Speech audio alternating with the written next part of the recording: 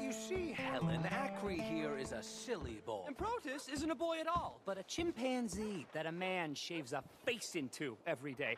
Now, that's very useful if you need to climb a tree, but a good conversationalist it does not make. He was always a. s- You can't punch, my sweet. It's sad, really. Oh my, our friend. Hello. I bet you can punch. Do me and the lady a favor here, would you? And thrash this impudent wretch. Thrash! No man alive can thrash me. What was your name, sir? Arthur. Arthur could. Easily. You, maybe, but not me.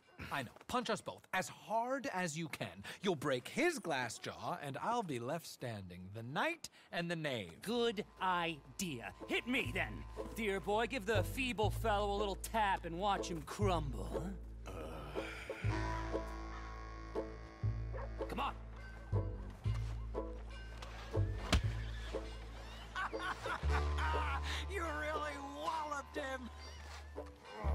Right, yikes! Hmm.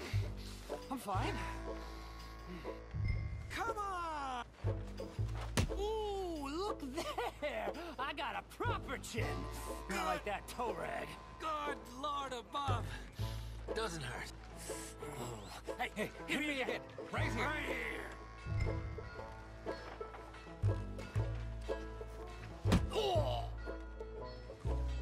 Taught never to hit girls? Punch a man for once. Give me your worst. Here I stand.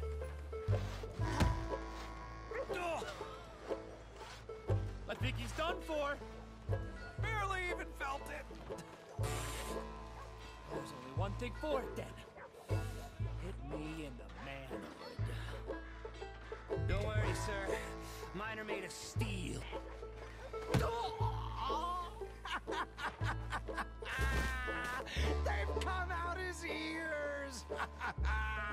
My turn.